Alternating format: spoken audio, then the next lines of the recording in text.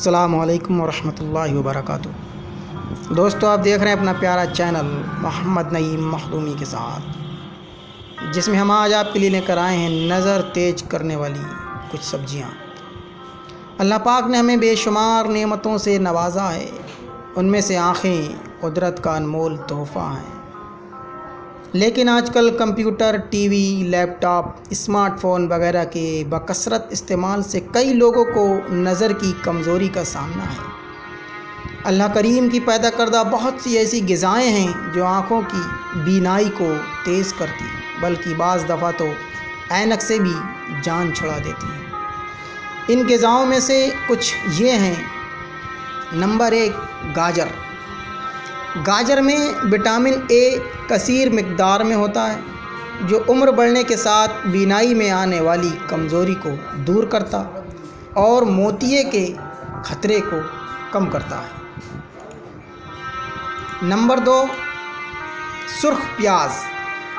سرخ پیاز میں بلوتین نامی ایک اینٹی آکسیڈنٹ زیادہ مقدار میں ہوتا ہے۔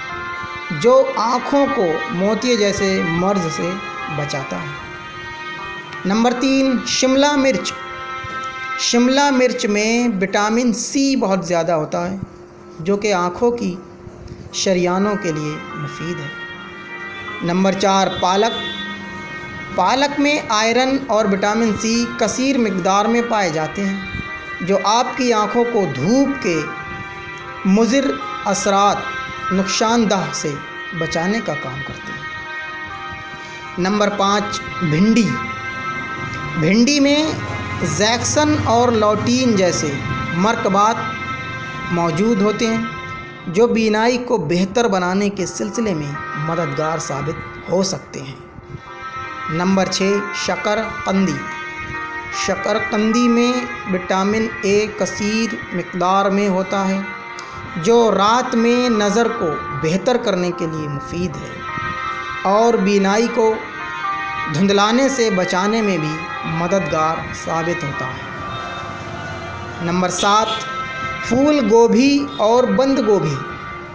پھول گوبھی اور بند گوبھی میں وٹامن سی کی ایک خاص مقدار پائی جاتی ہے، جو بینائی کو بڑھانے میں نہایت مددگار ثابت ہوتی ہے۔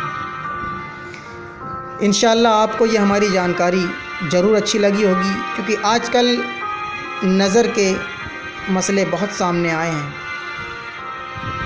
اللہ رب العزت سے دعا ہے مولا، اپنے پیارے حبیب کے صد کے طفیل میں، ان سبزیوں کی برکت سے ہماری آنکھوں کی بینائی کو طاقت فرمائے۔ اور جو ناظرین ہمارے چینل پر نئے ہیں، ان سے گزارش ہے کہ ہمارے چینل کو سبسکرائب کر لیں تاکہ ہم جب بھی کوئی نیا ویڈیو اپلوڈ کریں اس کا نوٹیفیکیشن آپ کو ترنت ملے۔ السلام علیکم ورحمۃ اللہ وبرکاتہ۔